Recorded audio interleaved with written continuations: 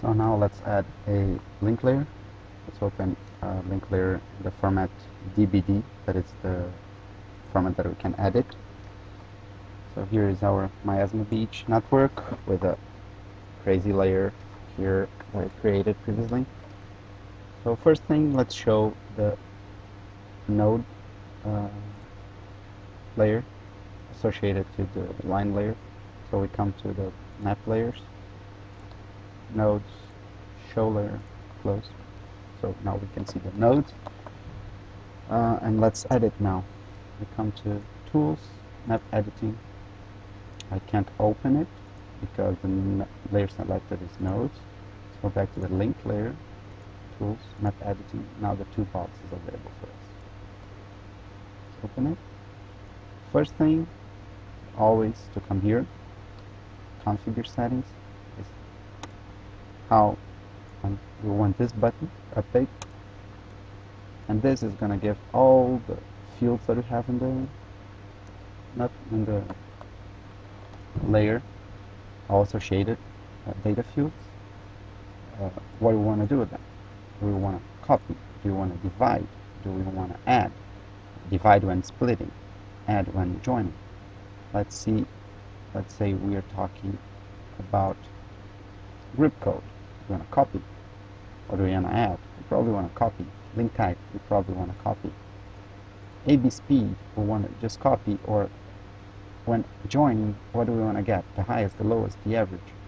Copy one of them. If you just want to copy, it's going to copy the one that is associated with the longer link. So you have to choose what you want to do with all of them. Let's say that for capacity, we want to be uh, to play on the safe side. Let's get the lowest for both of them. When joining and when splitting it just copies okay? Okay the other options here you don't need you just press ok.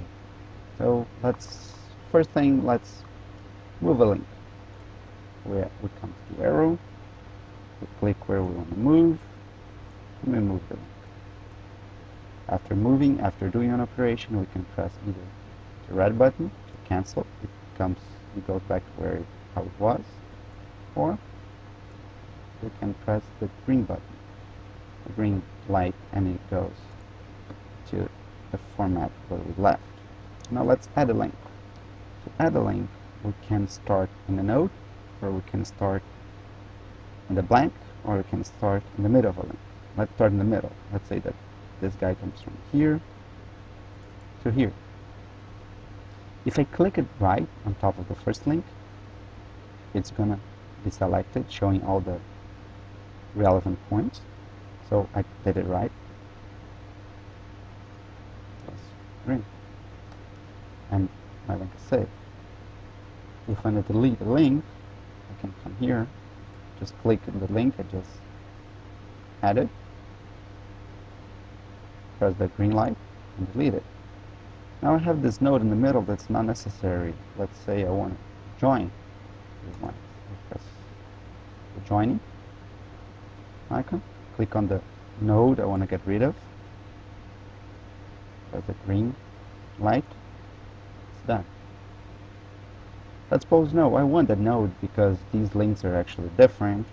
I want to split. Let's say I want to split here. Here, split, press green, split again.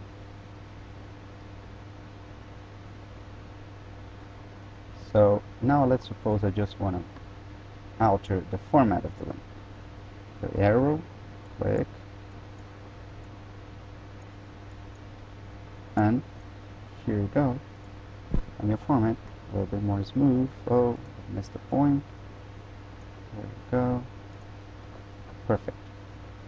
So this is how we edit links. The last thing that you want to know how to do is to check connectivity. Uh, are you sure that this node, that all these links are connected here? If you're not sure, you can click here, move, oh, oops, everything moves together. Great. You press the red, you didn't do anything. Click there, check, oh, everything is connected. Great. so that's it for line editing